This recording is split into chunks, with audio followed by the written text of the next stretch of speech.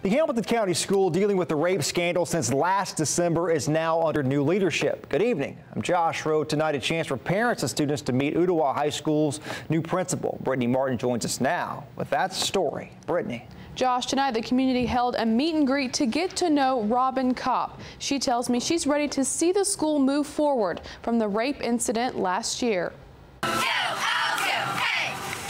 A warm welcome for new Ooltewah High Principal Robin Kopp at her community meet and greet Monday. Ooltewah is and always has been a great school, and that's where we're moving forward. New Ooltewah High Principal Robin Kopp says after a hard year for the community and students, she's focused on keeping the great reputation she thinks Ooltewah has had all along. It's a, a wonderful community with really long traditions of excellence, and my plan is just to continue on the excellent path it's been on. Last December, a basketball player was hospitalized on a trip to a tournament in Gatlinburg. Police say he was raped with a pool cue. In the months that followed, more drama for the school system.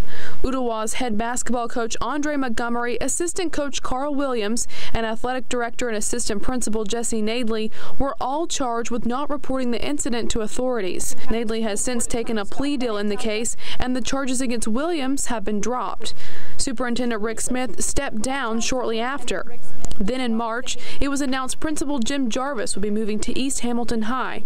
Now Kopp is in at Ooltewah High. She says close relationships with her students has always been a priority. I really like to have students involved and listen to student voice and teachers involved, a, a sort of a shared leadership model. So, um, you know, just continuing on the wonderful things that are happening.